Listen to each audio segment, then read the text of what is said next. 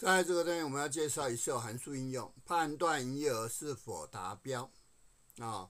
在结果这边，我们看一下，就是说我要判断个人营业额小于五十万，则在第一栏标注不达标，否则标注达标。就像你现在看到这样子，有没有？啊，低于五十万的都是不达标，五十万以上的都是达标啊。然后文字的也是什么不达标。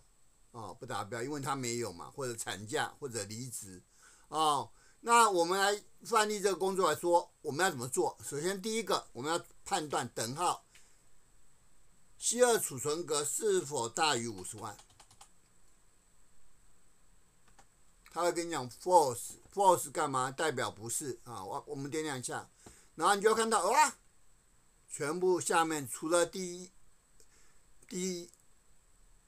C 二、C 三是 force 以外，其他都是什么 true 啊？都是达标的啊，true。那问题点来了，这是文字诶，产假诶，离职怎么可能达标？他没有营业额啊。这原因就在于干嘛？他文字大于数字，所以呢，他会认为你干嘛？他达标了啊。注意到文字是大于数字的，所以呢，这时候你要怎么办呢？我们必须来做第二件事情，什么事情？用 n 函数去把它干嘛？刮弧起来，啊，刮起来以后呢，再 enter 有没有？把公式往下 copy，你就看到干嘛？哎，这时候因为 n 去判断它是不是数字，不是的话，它就把它当成零，零有没有大于五十万？没有啊，所以它就会变成干嘛？false，啊，变成 false，然后这样子以后呢，我们才可以干嘛？用 if 函数来做。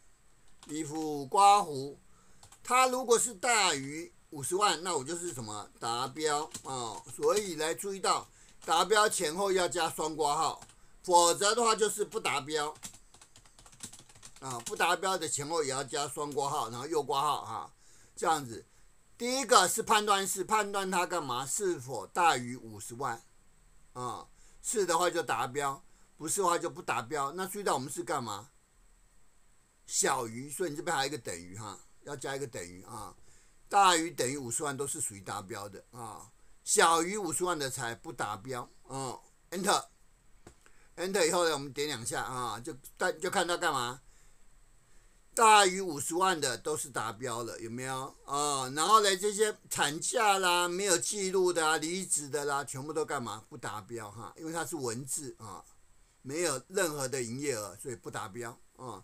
这样就完成我们所要的一个什么结果？